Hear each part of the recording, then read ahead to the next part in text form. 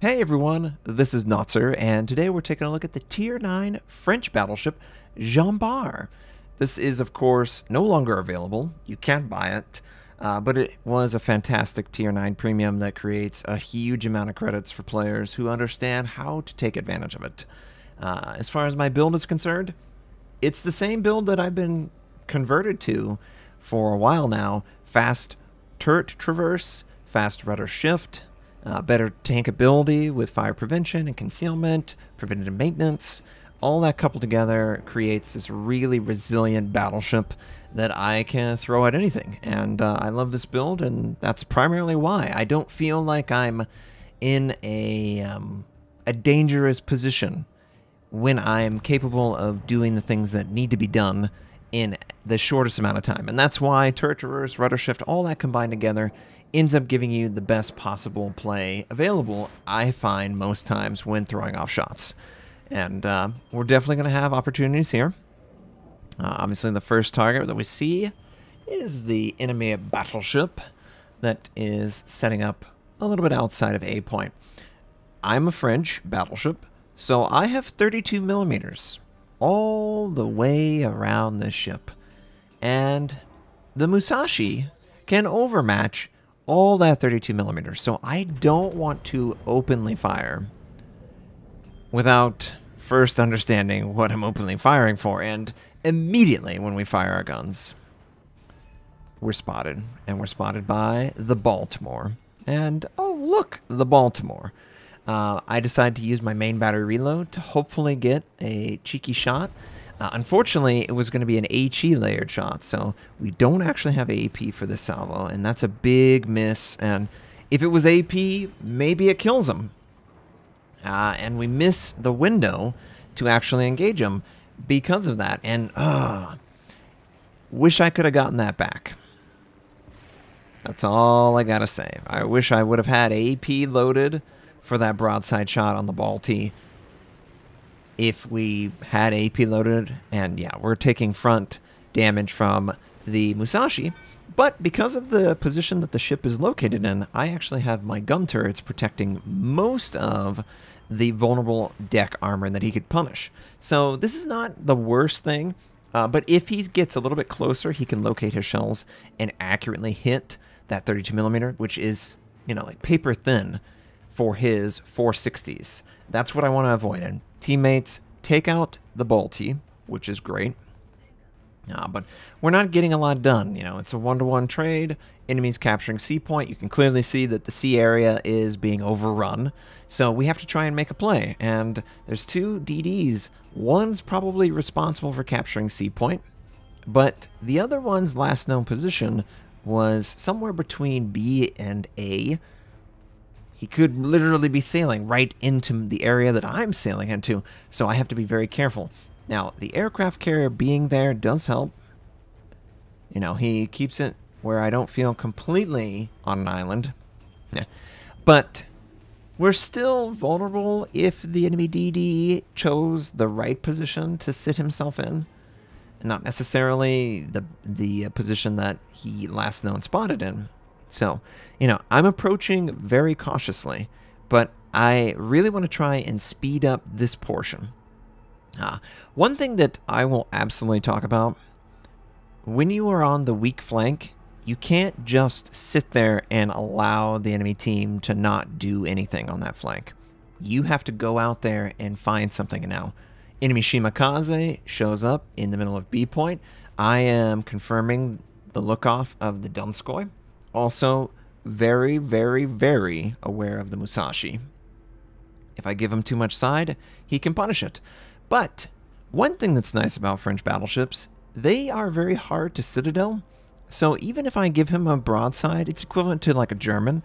So I have very manageable tankiness that outside of HE is very stout. The HE is, of course, the issue, but nothing that we're going up against we really have to worry about. I mean, the Donskoi, yeah, okay, he has to spec an IFHE.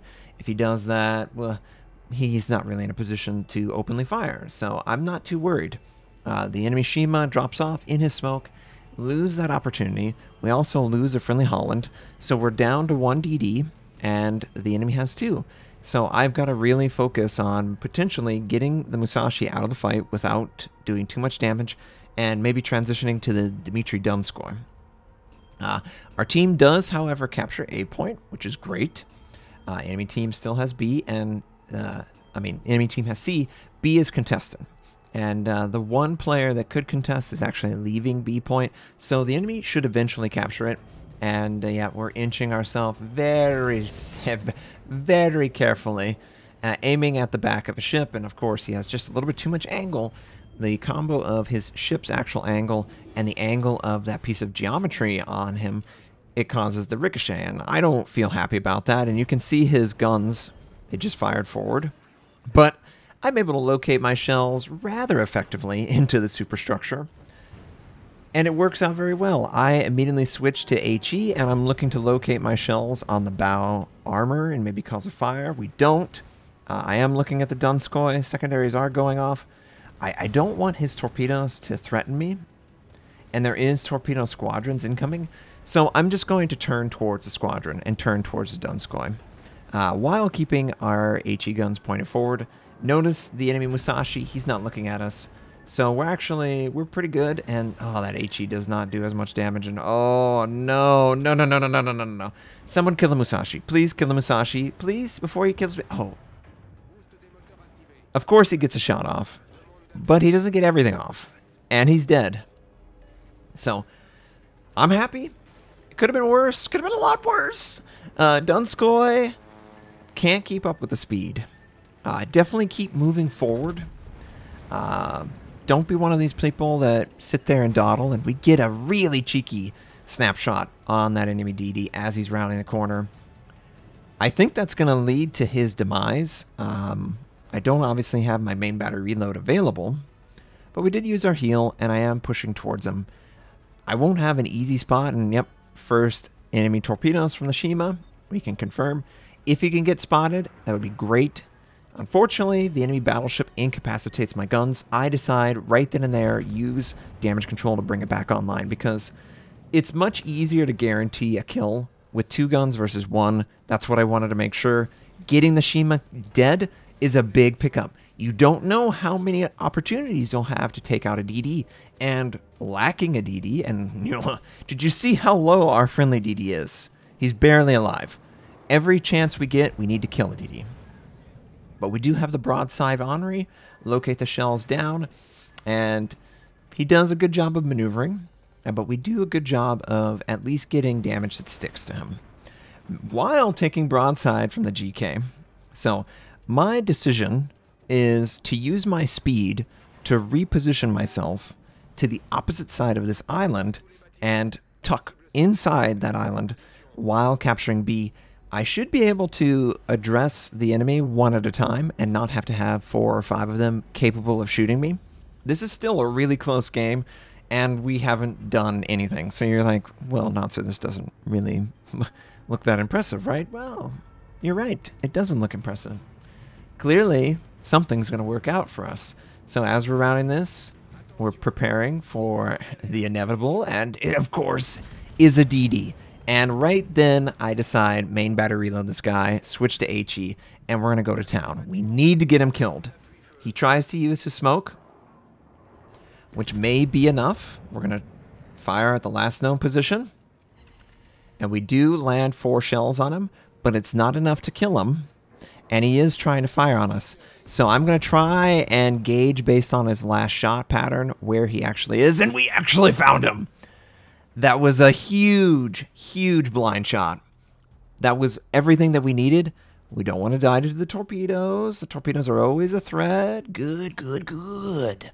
Now we are in a position of power because we can capture this base.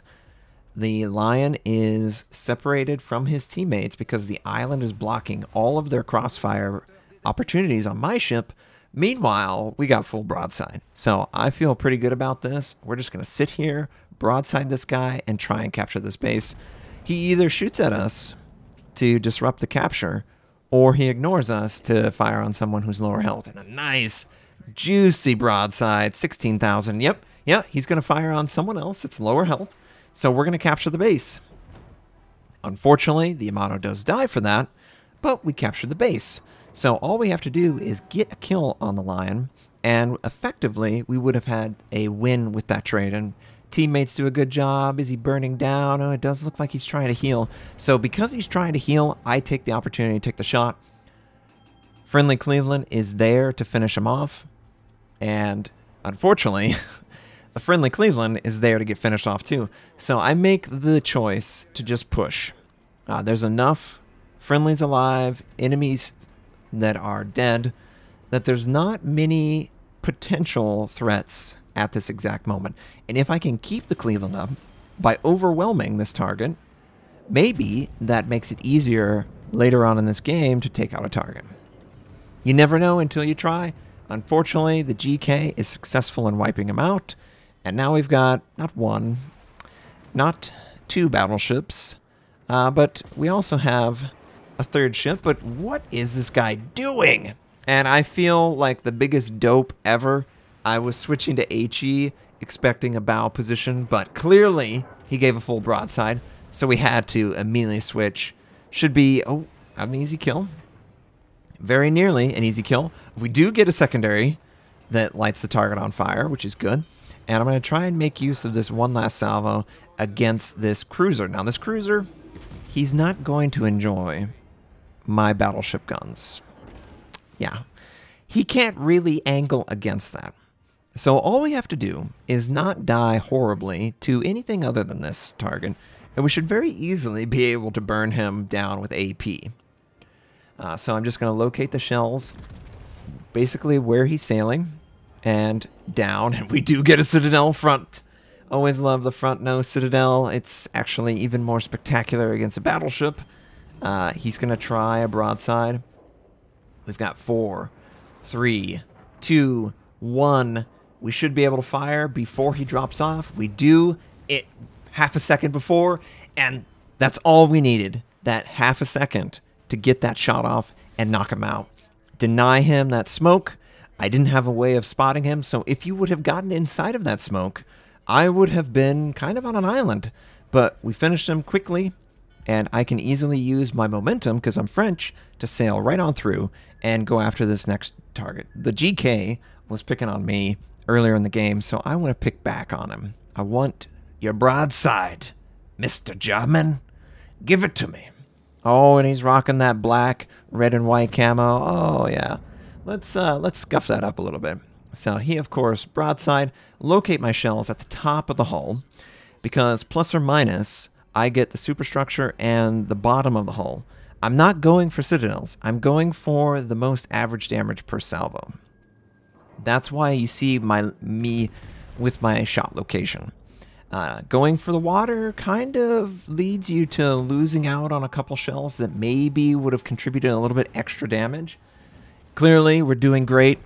He is worth the main battery reload to knock out. And again, locate those shells. One, two, three. Did about 30,000 30, damage in that broadside. And um, yeah, we came back. We got their broadside. It was pretty easy but we gave ourselves the best chance to succeed based on where we sailed. And I'm really proud of that. And I'm also really proud to be that helpful to my team. 175,000 damage done, four kills. I'm looking for that fifth one. Kraken Unleashed, come on! We did earn Confederate.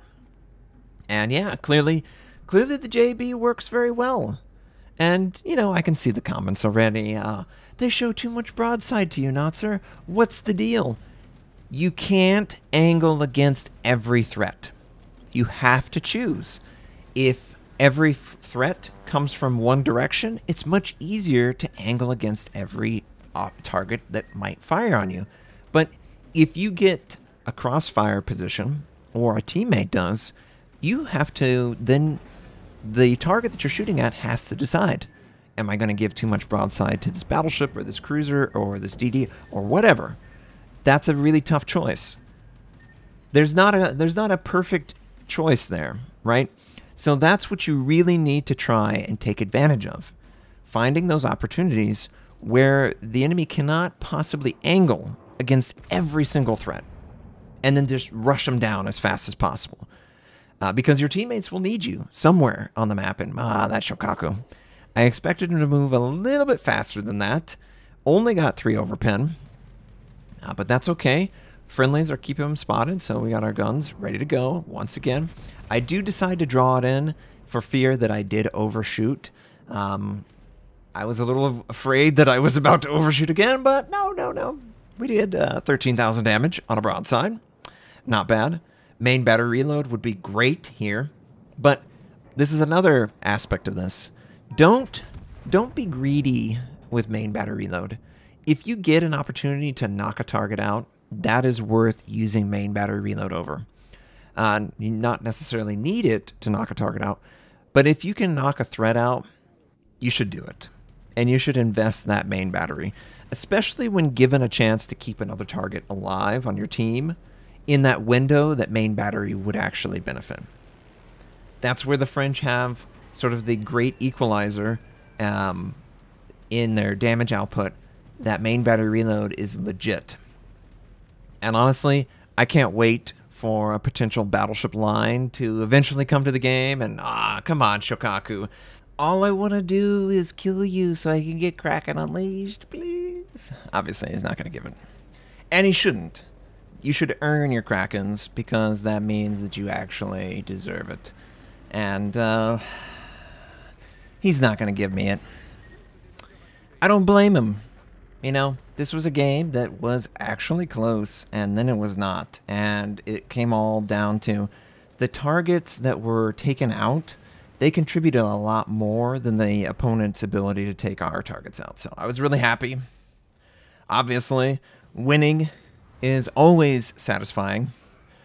But to win this good, yeah, we shot down 44 aircraft, Confederate high caliber, 3,000 370 base XP. Oh yeah, and uh, a easily a thousand base XP higher than anyone on my team, and double the enemy. So clearly, we contributed a lot to this game, and you know what? It felt really great to do it. Thanks for watching. If you'd like to check out more of my content, you can click the most recent or the most relevant uploads. You could also choose to subscribe to my channel. We do daily World of Warship videos, first impression, how-to, news, and review related. My North American recruit invite is on the screen. You can take advantage of that. I stream at twitch.tv slash Notser. Thank you, have a wonderful day, and I'll catch you next time.